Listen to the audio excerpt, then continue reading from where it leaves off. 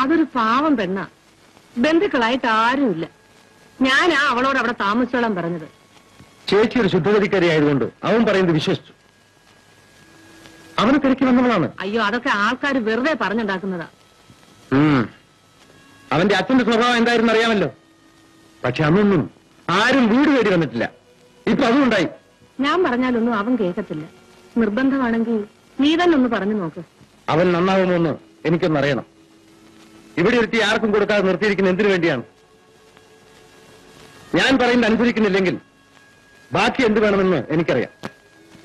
അതൊന്നും ഉണ്ടാവാതിരിക്കണമെങ്കിൽ മകനെ പിടിച്ചൊന്ന് കൊണ്ടുപോഷിക്കും ഞാൻ അവനെ ഇങ്ങോട്ട് പറഞ്ഞയക്കാം. നീ തന്നെ ഒന്ന് പറഞ്ഞു നോക്ക്.